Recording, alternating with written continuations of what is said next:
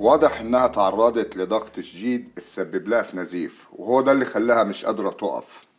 عموما هي المفروض ترجع للمستشفى بس أنا لا لا لا لا لا. مستشفى لا.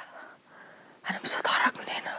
بعد اللي سمعته منكم واضح إنه ما ينفعش. عموما هي المفروض إنها ما تتحركش نهائي وتاخد العلاج ده بانتظام. وما تتعرضش لأي ضغط وما تبذلش أي مجهود.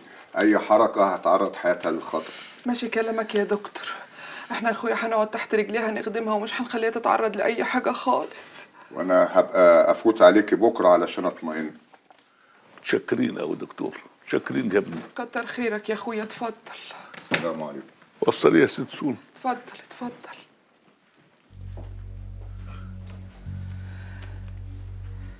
يا عبير شفت حبيبي؟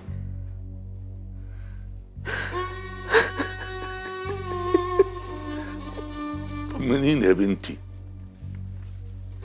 يع- يعني يعني كلمتيه عرفته بيروح فين بيقعد إيه بياكل فين.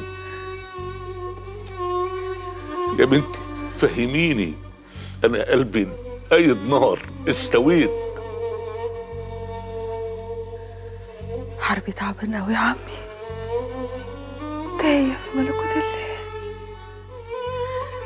بيدور على اللي ما يعرفوش.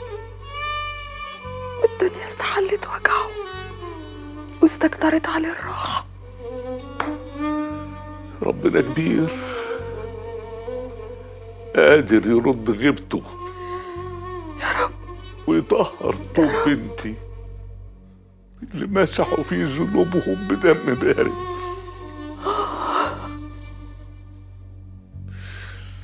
يا رب.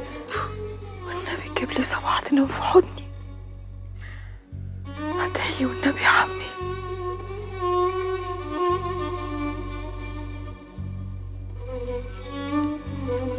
لا حول ولا قوة إلا بالله. حسبي الله ونعم الوكيل. حسبي الله ونعم الوكيل.